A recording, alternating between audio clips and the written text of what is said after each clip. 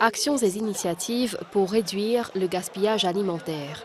Les représentants de l'Université de Maurice et du Conseil de district de Moka s'étaient mobilisés au marché de Saint-Pierre pour une présentation sur la quantité de nourriture achetée, la préservation des données alimentaires et les moyens d'éviter le gaspillage peut venir comme ça, valorise un peu mon produit, qui est capable de former, pas paraître trop joli, mais seulement qu'il est aussi bon pour manger. Pour la plupart des consommateurs, réduire le gaspillage alimentaire permettrait d'économiser de l'argent et des ressources. Plusieurs légumes, piments, carottes, cocombes, lissous.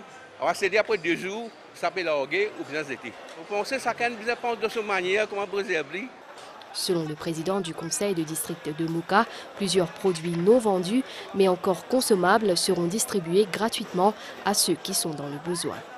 Tout joli, joli légumes à rentrer, mettre l'eau marché, mais ban qui un peu coûte, un peu pas trop joli là, ça se Donc nous pourrons ramasser ces légumes là pour porter à ça ban qui peine les moyens pour acheter légumes chaque semaine dans la quantité.